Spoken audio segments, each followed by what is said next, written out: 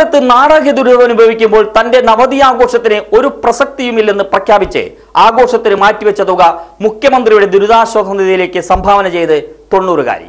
മിണാലൂർ വായനശാലയ്ക്ക് സമീപം താമസിക്കുന്ന പരേതനായ ക്യാപ്റ്റൻ പാടശ്ശേരി അച്യുതമേനോന്റെ ഭാര്യ ചങ്ങരത്ത് കല്യാണിക്കുട്ടിയമ്മയാണ് നാടിനാകെ മാതൃകയുടെ ഐശ്വര്യ പ്രതീകമായത്. ലോകത്തിലെ മഹാമാരി വന്നത് കാരണം എന്റെ പെൻഷനിൽ നിന്ന് പതിനായിരം ഉറുപ്പ്യ ഞാൻ വരുന്ന പതിനേഴിനാണ് കല്യാണിക്കുട്ടിയമ്മയ്ക്ക് തൊണ്ണൂറ് വയസ്സ് തികയുന്നത്. ആഘോഷം അതിഗംഭീരമാക്കണമെന്ന് ഏഴ് മക്കളും കൂടി നേരത്തെ തീരുമാനമെടുത്തിരുന്നു. അഞ്ച് പെൺമക്കളുടെയും രണ്ട് ആൺമക്കളുടെയും അമ്മയുടെ നവതി ആഘോഷത്തിനുള്ള ഒരുക്കങ്ങളും പൂർത്തിയായതാണ്. അതിനിടെയാണ് വില്ലനായി കൊറോണ കടന്നു വന്നത്.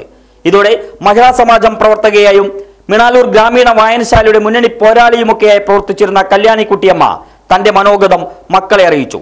കഷ്ടപ്പെടുന്നവരെ സഹായിച്ചുകൊണ്ടാകണം തന്റെ നവതി എന്ന തീരുമാനം പ്രഖ്യാപിച്ചു. തുക മുഖ്യമന്ത്രിയുടെ ദുരിതാശ്വാസ നിധിയിലേക്ക് നൽകാൻ തീരുമാനമെടുത്തു.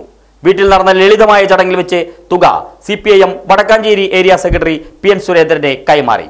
പി മോഹൻദാസ് ശ്രീകുമാർ ബാലകൃഷ്ണൻ പങ്കെടുത്തു.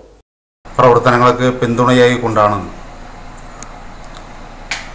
ചങ്കരത്ത് കല്യാണി കുട്ടി കല്യാണി കുട്ടിയമ്മയുടെ തൊണ്ണൂറാം പിറന്നാളോട് അനുബന്ധിച്ച്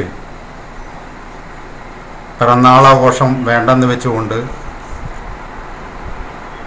മുഖ്യമന്ത്രിയുടെ ദുരിതാശ്വാസ നിധിയിലേക്ക് ആ പിറന്നാളാഘോഷത്തിന് വേണ്ടി മാറ്റിവെച്ച സംഖ്യ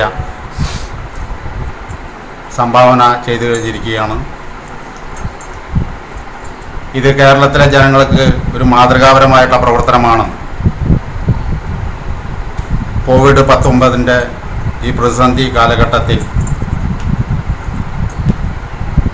കല്യാണിക്കുട്ടി അമ്മ ചെയ്തിട്ടുള്ളത് ഈ ദുരിതാശ്വാസ നിധിയിലേക്ക് സംഭാവന ചെയ്ത കല്യാണിക്കുട്ടി അമ്മയ്ക്ക് പ്രത്യേകം പ്രത്യേകം നന്ദി രേഖപ്പെടുത്തുക.